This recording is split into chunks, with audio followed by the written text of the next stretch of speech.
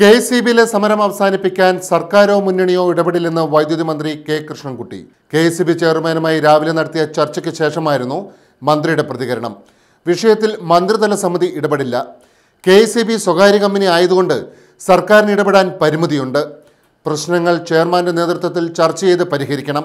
Board കടുത്ത സാമ്പത്തിക ഞെരുക്കത്തിലാണെന്നും സമരം നീട്ടിക്കൊണ്ടുപോകാനാവില്ലെന്നും മന്ത്രി വ്യക്തമാക്കി. പ്രശ്നത്തിന് എത്രയും പെട്ടെന്ന് പരിഹാരം കാണണമെന്ന് മന്ത്രി കർശന നിർദ്ദേശം കൊടുത്തതായാണ് സൂചന.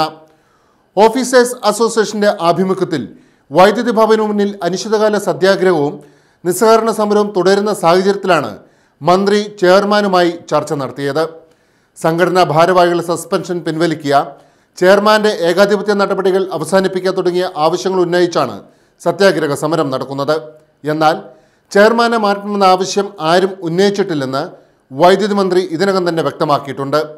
ചെയർമാന്റെ സമീപനം തിരുത്തിയില്ലെങ്കിൽ ചട്ടപ്പടി സമരത്തിലേക്ക് നീങ്ങേണ്ടി വരുമെന്ന മുന്നറിയിപ്പും ഓഫീസേഴ്സ് അസോസിയേഷൻ നൽകിയിട്ടുണ്ട്. അതേസമയം കെ സി ബി തർക്കത്തിൽ ചെയർമാന് പിന്തുണയുമായി ഐ എ എസ് അസോസിയേഷൻ മുഖ്യമന്ത്രിക്ക് കത്ത് നൽകി. തൊഴിലാളി സംഘടനകൾ ഉദ്യോഗസ്ഥരുടെ മനോവീര്യം തകർക്കുന്നു. മികച്ച രീതിയിൽ പ്രവർത്തിക്കാനുള്ള സാഹചര്യം മുഖ്യമന്ത്രി ഒരുക്കണമെന്നും കത്തിൽ പറയുന്നുണ്ട്.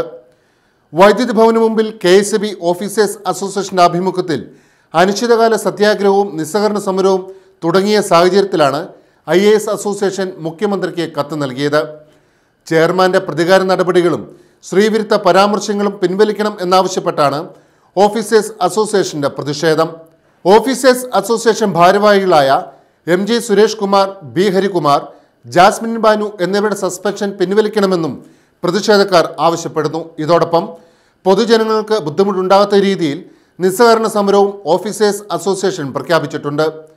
അനധികൃതമായി അവധിയെടുത്തെന്ന് ആരോപിച്ചാണ് ദേശീയ പണിമുടക്കിന്റെ ഒന്നാം ദിവസം തന്നെ ജാസ്മിൻ ബാനുവിനെ സസ്പെൻഡ് ചെയ്തത്. ഡൈസ്നോൺ ഉത്തരവ് തള്ളിയതിനും ചെയർമാനെതിരെ ദുഷ്പ്രചരണം നടത്തിയതിനുമാണ് സംഘടനാ ഭാരവാഹികളെ സസ്പെൻഡ് ചെയ്തത്. എന്നാൽ ചട്ടപ്രകാരമുള്ള നടപടികൾ മാത്രമാണ് സ്വീകരിച്ചെന്ന നിലപാടിലാണ് ചെയർമാൻ ബി അശോക്.